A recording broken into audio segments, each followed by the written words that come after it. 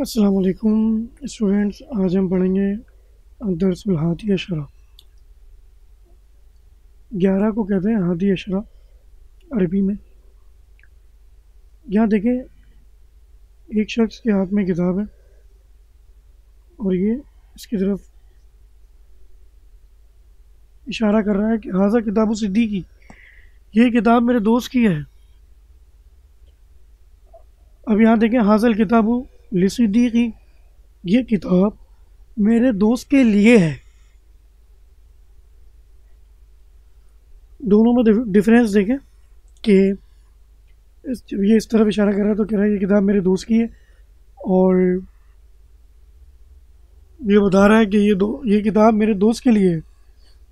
दो चीज़ें हो सकती हैं ना। अब यहाँ पे देखें, ये बता रहा है हाजा कलम सिद्दीकी, ये कलम मेरे दोस्त का है, हाजल कलम लिसिद्दीकी ये कलम मेरे दोस्त के लिए है। हाजल किताब किताबी ये किताब मेरी किताब है। हाजल किताबुली, ये किताब मेरे लिए है। हाजल कलम कलम, ये कलम मेरे हाँ ये कलम मेरे कलम के लिए है। मेरा कलम है और हाजल कलम उली ये कलम मेरे लिए है। इसी तरीके से देखें, यहाँ पे लिखा हुआ है कि हाजल किताबी, ये मेरी किताब है। वजात किताबुक। और वो तुम्हारी किताब है। ज़्यादा मैंने आपको बताया था कि वो के लिए इस्तेमाल होता है। दूर के लिए। अच्छा जा का इस्तेमाल होता है ये ता क्यों लगा हुआ है? क्योंकि ये किताब मोहन्नस से समाई है, इसलिए जो है वो, जहाँ पर मोहन्नस की बात आती है, वहाँ पर ताए तानीस लगता है।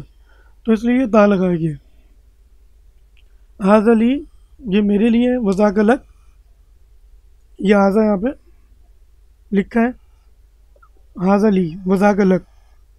ये मेरे लिए वजाक अलग और वो तुम्हारे लिए। इसी तरीके से देखें हाजा कलम ही। ये मेरा कलम है वजाका कलम का और वो तुम्हारे कलम है। हाजा ली वजाक अलग। ये मेरे लिए और वजाक अलग, वो तुम्हारे लिए। हाजी साथ ही ये मेरी है बदल के साथ होगा और वो तुम्हारी कड़ी हाजा ली बदल कर अलग ये मेरे लिए और वो तुम्हारे लिए।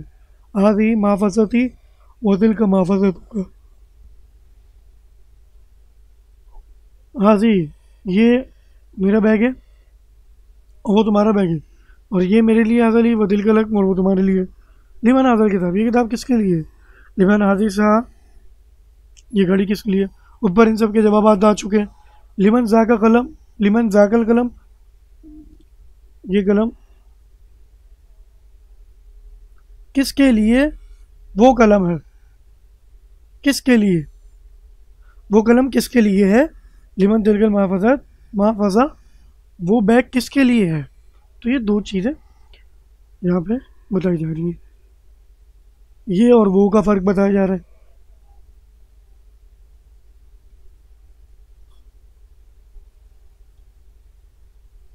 अभी आप देख सकते हैं, लिमन मुल्कुल यौम। ये कुरान शरीफ की आयत है। इसका तर्जुमा ये है कि उस दिन की बादशाहत किसके लिए? वाहिदुल कहार, अल्लाह के लिए जो कहार है। गज़ब फरमाने वाला है।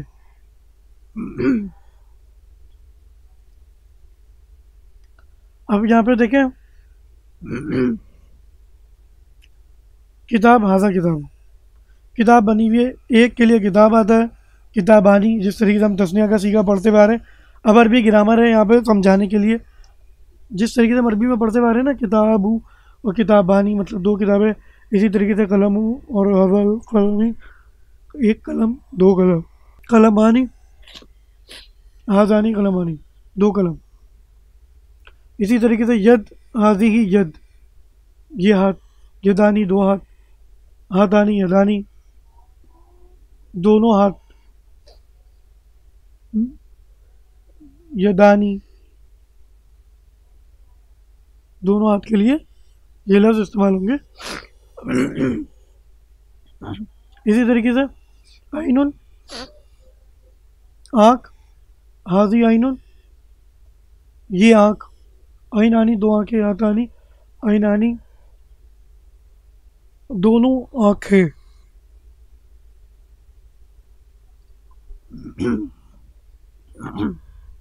अल्लाह का यदानी क्या तुम्हारे लिए दो हाथ है अल्लाह का इनानी, क्या तुम्हारे लिए दो आँखें हैं? अल्लाह का उजुनानी क्या तुम्हारे लिए दो कान है? अल्लाह का रजुलानी, क्या तुम्हारे पास दो टांगे, दो राने हैं? रजुल कहते हैं, रिजलान टांगों को। अल्लाह का रासानी क्या तुम्हारे पास दो सर है? वो जहानी वानफानी तमुन कहते हैं मुँह को। अब यहाँ पे देखें इसकी तमरीन आ गई है। तमरीन में आप बिल्कुल देख सकते हैं कि यहाँ पे आपने तमरीन हल करनी है सारी चीज़ें पीछे आपको समझा चुकूँ ये तमरीन हल करनी है। आज हम जो पढ़ रहे हैं वो गिरदान का नाम है रफ़ी जहद बिलम जाजमा। तो उनके तर्जुमा इस तरीके से किया जाएगा। लम जिसके साथ लग जाएगा आगे कोई भी मजदर लगेगा या फाल या फाला इस तरीके से होंगे तो उनके तर्जुमे ये होंगे। जिस तरीके से देखें मैं आपको प्रोनाउंसिएशन सबके करके बता रहा हूँ ये आपने याद जहन में बिठा लेने हैं। लम यफल लम यफला लम यफलू लम तफल लम तफला लम यफलना लम तफल लम तफला लम तफलू लम तफली लम तफला लम तफलना लम अफल लम नफल नहीं किया उसे एक मर्द ने नहीं किया उन दो मर्दों ने, नहीं किया उन दो मर्दों ने। तो ये जितनी भी टीम देख रहे हैं, इस तरीके से नीचे आएगी, वही चीज़ है। इसी तरीके से बिलम जाजमा मजूल का भी आप देखें कि यही चीज़ है। यू फल लग जाएगा मजूल में यू फल लगता है और नहीं क्या, गया वो एक मर्द नहीं किए गए वो दो मर्द इस तरीके से तर्जुमे किए जाएँगे। तो ये हमारे तर्जुमा और अरबी आपने याद कर लेंगे। तो जब आप इस तरीके के मजदर बनाएँगे तो आपके जहन में क्लिक कर जाएगा कि भाई ये वाहिद मुजक्कर का है, लम यूफल। इस तरीके से लम युद्रब कि नहीं मारा गया वो एक मर्द तो आपके जहन में उसका तर्जुमा फ़ौरन से आ जाएगा।